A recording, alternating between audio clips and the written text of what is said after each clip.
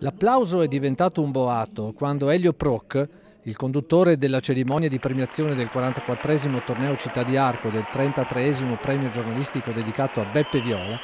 ha accolto Luca Toni sul palco con questa frase Finalmente un campione del calcio con una pettinatura normale.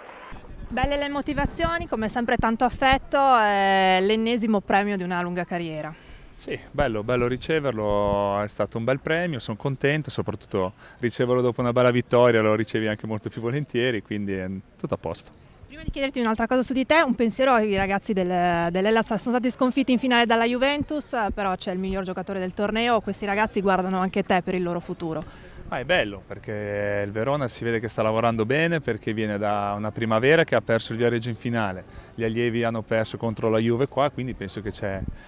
c'è un bel settore giovanile, quindi è già giusto che il Verona conti molto sul settore giovanile, che penso che sia il futuro delle società come il Verona. Cosa vuol dire per te essere il migliore marcatore italiano della Serie A? Ah, per me, io sono contento. Però è chiaro, eh, eh, bisogna chiedersi un po' dove sono finiti gli attaccanti italiani, quello penso che è importante, penso che magari se ne mancano all'appello alcuni e forse perché ne giocano sempre meno ed è un problema, un problema del calcio italiano perché penso che la conseguenza maggiore ne ha la nazionale. Abbiamo visto negli ultimi apparizioni della nazionale, a un mondiale è andato fuori al primo turno, quindi bisognerebbe un po' più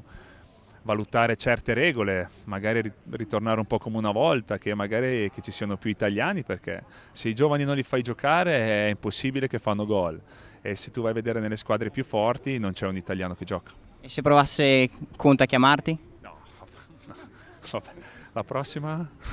Intanto però chiamerà qualche nome nuovo, tipo Valdifiori, c'è questa nazionale del 2V, Verratti, Valdifiori, insomma qualche, qualcuno c'è. Ah, bah, qualcuno ci deve essere per forza perché in campo ci devono andare in 11, quindi no,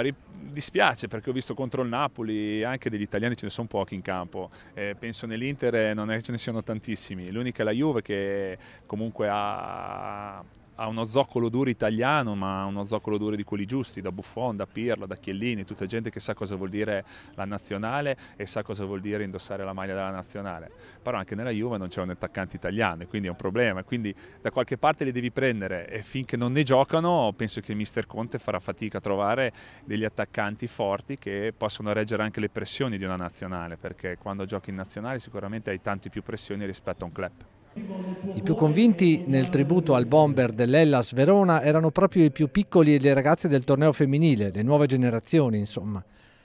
Al di là di queste considerazioni, l'arrivo di Luca Toni, al quale la giuria del premio Beppe Viola ha voluto dedicare un riconoscimento speciale per essere un campione in campo e nella vita, è stato il momento clou dell'intensa serata nel Salone delle Feste del Casino Municipale di Arco che chiude, con le premiazioni, questa importante rassegna internazionale del calcio giovanile.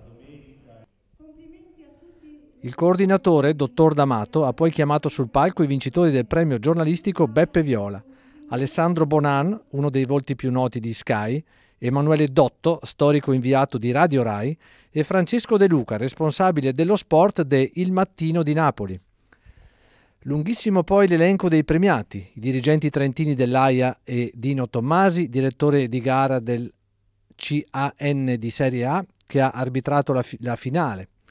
E poi altri giornalisti, Manuel Codignoni della RAI di Trento, al quale è andato il premio De Martino, Maurizio Di Gian Giacomo per il giornale Trentino, al quale è andato il premio in memoria di Bruno Cagol.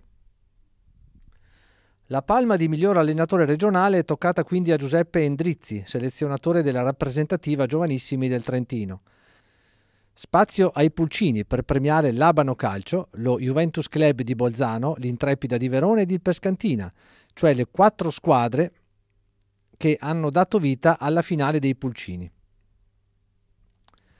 Cambiamo pagina per arrivare al torneo maschile Under 16 con l'Atalanta che ha vinto il premio Fair Play, mentre la palma di miglior giocatore del torneo è andata all'esterno basso mancino dell'Ellas Verona Andrea Badan e allo Juventino Fabio Morselli con tre gol,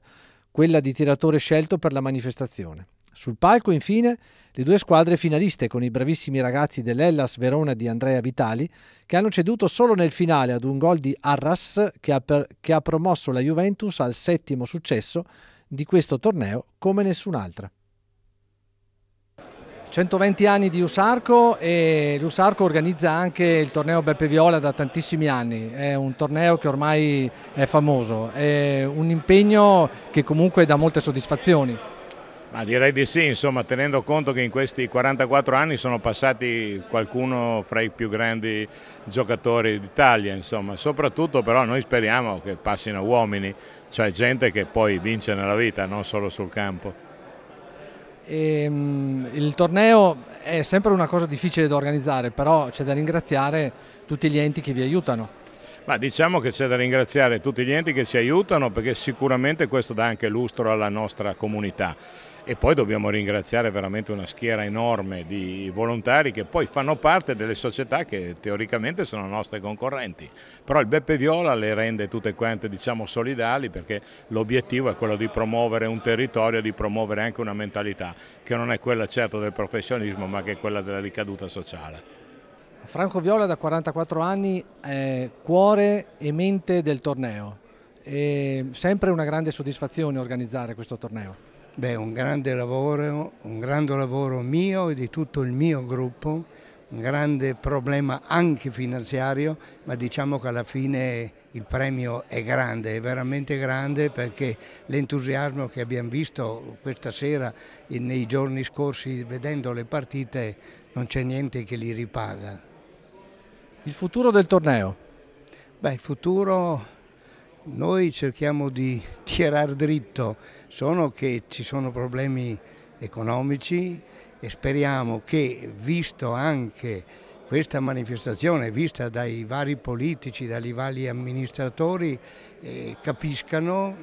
che devono aiutarci. Io non, non nego che abbiamo un buon aiuto sia dal comune, dalla provincia, dalla Cassa Rurale, dal BIM e di tante altre associazioni che ci danno una grossa mano, però la spesa è veramente grande, però è una manifestazione che ritengo